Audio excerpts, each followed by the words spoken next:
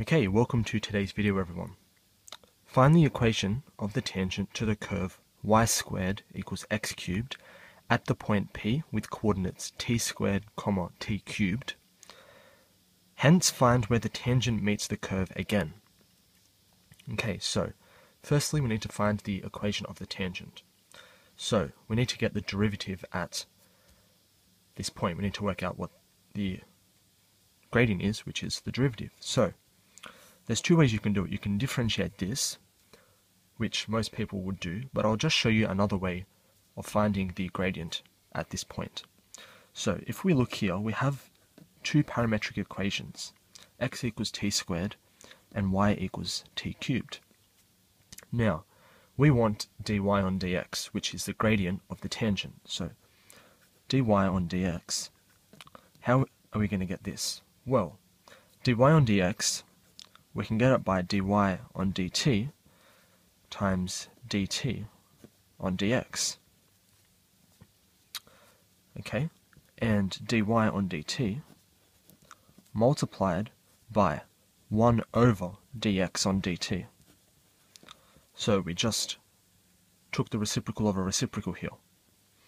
Okay, so you can see that dy on dx is going to be dy on dt divided by dx on dt. So this is something that you can use in general when you have parametric equations and you want to find a derivative. This is the method that I like to use. That's just a personal preference. But anyway, let's go ahead and get this. dy on dt, that's differentiating this with respect to t, so that's going to be 3t squared divided by dx and dt, which is differentiating this, so that's going to be 2t. Okay, and so we can cancel the t and we'll get 3t on 2. That's dy on dx. Now, we need the value of the gradient at the point P, so at P, which has these coordinates,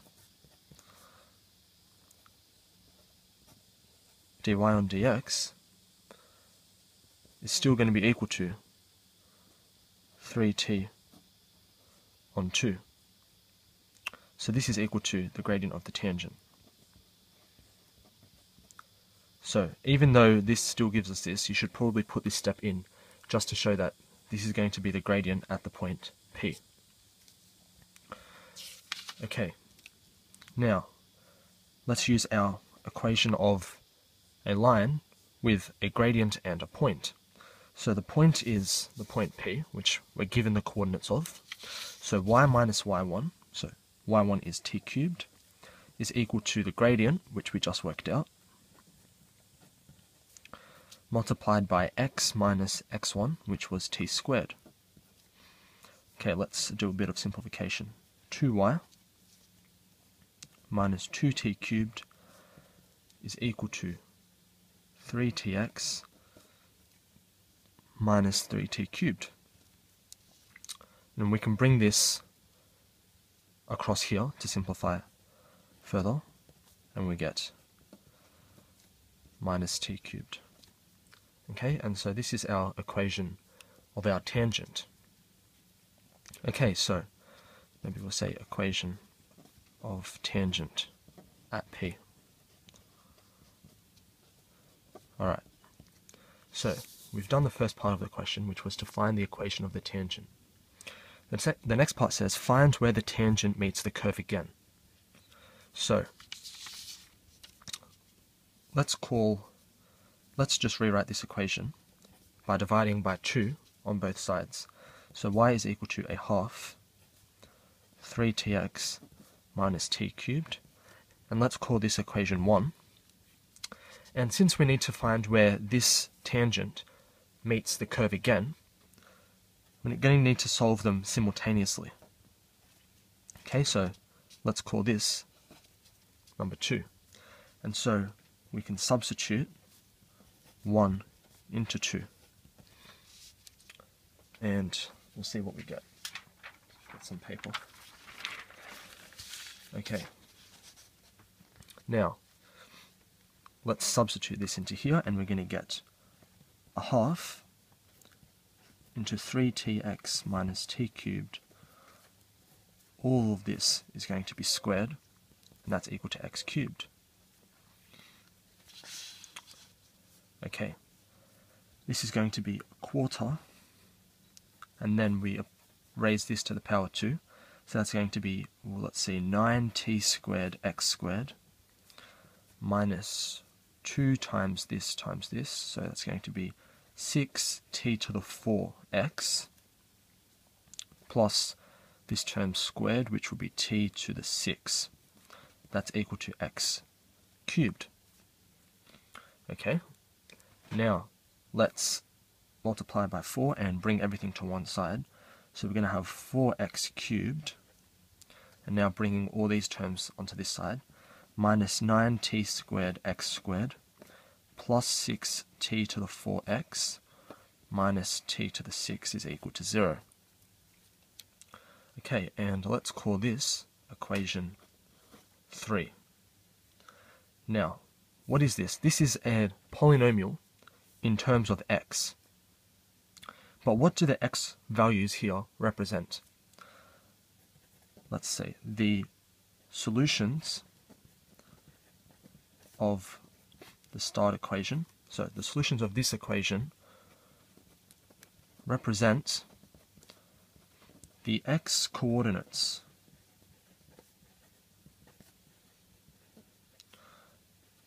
of the intersection of the tangent with the curve. And this is the, key, the crucial thing that you need to identify. The tangent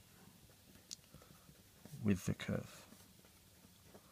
Okay, so identifying this step here is crucial in you being able to solve this question.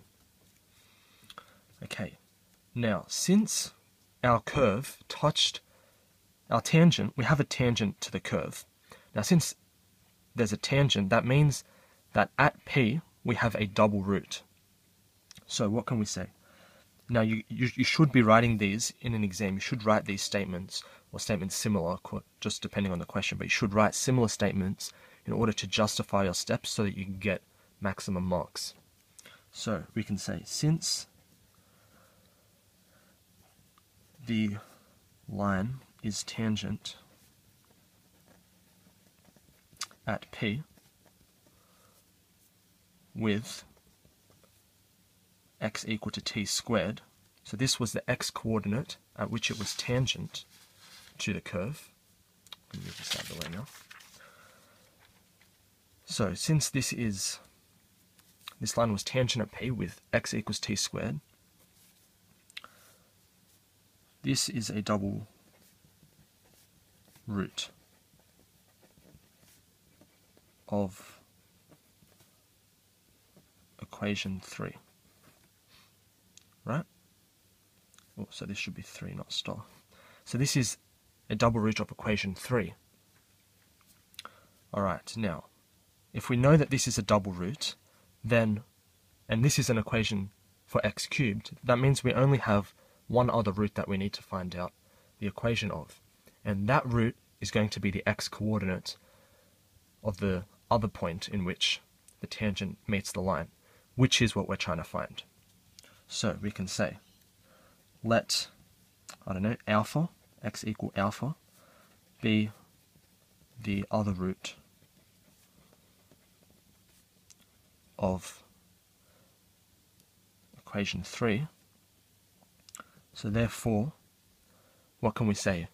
We can say that x equals alpha is the x coordinate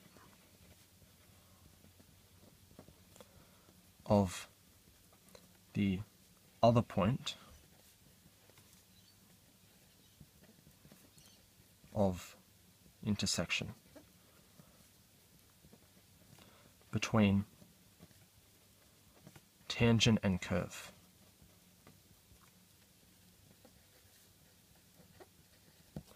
Okay, so I know that these statements here are tedious, but justifying your steps will ensure that you get maximum marks. So, now that we have this, we can try to solve for alpha. Now, trying to solve this equation. is going to be tremendously difficult. But what we can do, we can apply the sum of roots formula, which is equal to minus b on a. And since we know what two of the roots are, namely a double root at t squared, so adding all the roots, t squared plus the other t squared, and plus our remaining unknown root, which is alpha, this is going to be minus of minus 9 t squared divided by 4. So I'm going to get 2t squared plus alpha is equal to 9t squared over 4. And so, therefore, alpha is equal to, when we subtract 2t squared from both sides, we're going to get t squared to the power 4. Not to the power 4, divided by 4. Okay, so now that we have that, we can say, therefore, tangent meets curve at x equals t squared over 4. Now we want the coordinates, so we also need the y coordinate, but that's simple enough to work out. We have that y squared equals x cubed. When we substitute this in, x equals t squared over 4, we're going to get that y squared is equal to t squared over 4 cubed, which is equal to t to the 6 over 4 cubed, which is 64. And so therefore, y is going to be plus or minus t cubed over 8. Okay, and so therefore tangent meets curve again at these points t squared over 4 plus or minus t cubed over 8. Okay, and that's the final answer. So, the trick here was to identify that this equation here, the solutions of this equation, represent the x coordinates of the points of intersection of the tangent with the curve. And then to identify that when we have a tangent, this is a double root. Okay, thanks for watching.